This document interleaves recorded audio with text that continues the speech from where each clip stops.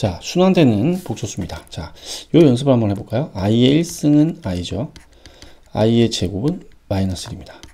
i 3승은 마이너스 i가 되고 i 4승은 다시 1이 되죠. 얘를 제곱하면 되니까. 근데 i의 5승을 하면 다시 i가 되겠죠. 여기다 i 곱하니까. 어? 그러면 i 6승은 여기다 i를 또 곱할 테니까 이렇게 되겠네요. i 7승은 마이너스 i고 i 8승은 다시 1이 되겠습니다. 아, 이렇게 요렇게 요렇게 계속 반복되겠죠. 이것도 반복되고 그 다음에 이게 반복되겠죠. 이런 식으로 반복된다는 걸 기억하시면 되겠습니다. 근데 또 재밌는 사실이 어, 이쪽을 이쪽을 다 더해볼까요? 이쪽을 다 더하면 얼마가 되죠? 0 됩니다.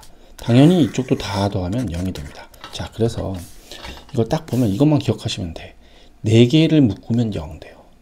자, 그러면 4개를 묶으면 0 되면 100 근처 숫자 뭐 있죠?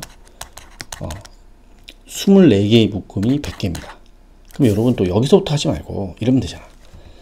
i 1승부터 i 100승까지 다 더하면 4의 배수 맞잖아. 100개. 얼마죠? 0이죠. 따라서 이 문제의 답은 1 이렇게 해서 1초 만에 문제를 풀 수가 있습니다. 자, 기억해 두세요.